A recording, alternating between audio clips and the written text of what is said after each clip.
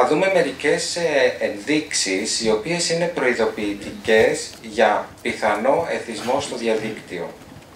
Αυτά τα, οι ενδείξεις ή συμπτώματα αλλιώς δεν είναι υποχρεωτικό να γίνουν τελικά εθισμό στο διαδίκτυο, να οδηγήσουν στον εθισμό. Παρ' όλα αυτά, αν τα παρατηρήσουμε κάπου, σε κάποιον, είτε στο παιδί μας, είτε στο σύντροφό μας, είτε στον φίλο μας, καλό είναι να χτυπήσουμε κάποιο καμπανάκι.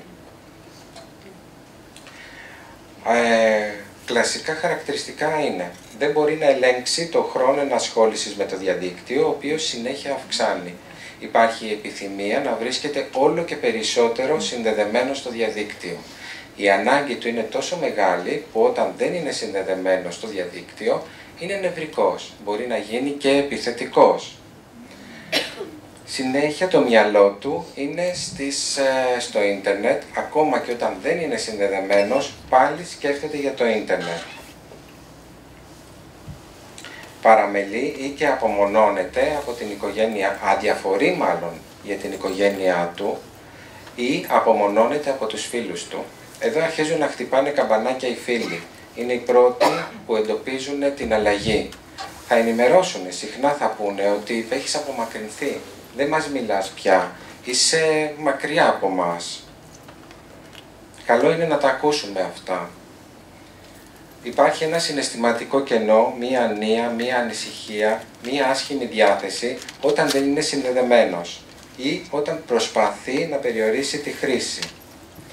Και αδιαφορία σχετικά με τις δραστηριότητες και τις ευθύνες που το αναλογούν. Όλα αρχίζουν να μένουν πίσω. Χαρά, ικανοποίηση όταν είσαι συνδεδεμένος. Αίσθημα ενοχής ή αμυντική συμπεριφορά σχετικά με τη χρήση του διαδικτύου. Όταν δηλαδή θα σε κατηγορήσει ο μπαμπάς ή η μαμά, αυτό που θα πεις εσύ είναι «Όχ, την έκανα πάλι». Στην πραγματικότητα όμως δεν θα καταφέρεις να το ξεπεράσεις αυτό το συνέστημα και θα παραμείνεις συνδεδεμένος. Η χρήση του διαδικτύου είναι ένας τρόπος για να ξεφύγεις από το πρόβλημά σου ή να απαλλαγείς από ένα αίσθημα δυσφορίας και κακής διάθεσης. Όλα αυτά τα ψυχικά συμπτώματα συνοδεύονται από σωματικά συμπτώματα.